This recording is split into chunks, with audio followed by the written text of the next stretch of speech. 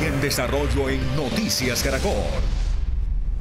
Vamos con otras noticias. En Medellín, los creadores de más de 280 ventiladores de bajo costo que desarrollaron durante la pandemia continúan esperando el aval del INVIMA que solicitaron hace más de un año.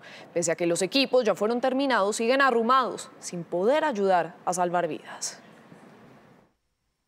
Arrumados en una bodega de la Universidad de Antioquia, permanecen varios de los ventiladores mecánicos que miembros del proyecto Inspiramed ensamblaron durante la pandemia para ayudar a salvar vidas. A nosotros nos parece que es un granito en la investigación y en el desarrollo tecnológico en este país que en tan poco tiempo unos ingenieros supremamente exitosos hayan desarrollado tan rápido un equipo. Pese a que pasaron días y noches probando su efectividad, aún no cuentan con el aval del INVIMA.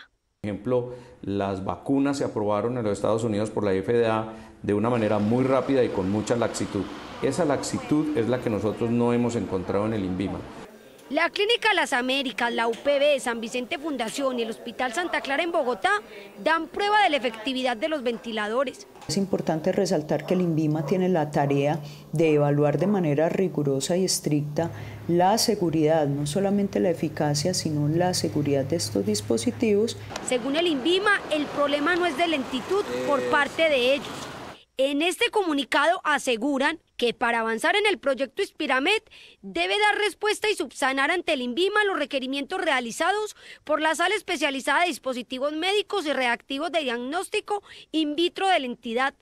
Además, en otra parte dicen que el INVIMA ha actuado con la prontitud que la emergencia sanitaria amerita. Aunque según los expertos el cuarto pico del COVID-19 nos puede agarrar en cualquier momento, la demora en la certificación de los ventiladores poco a poco deja sin aire a este proyecto.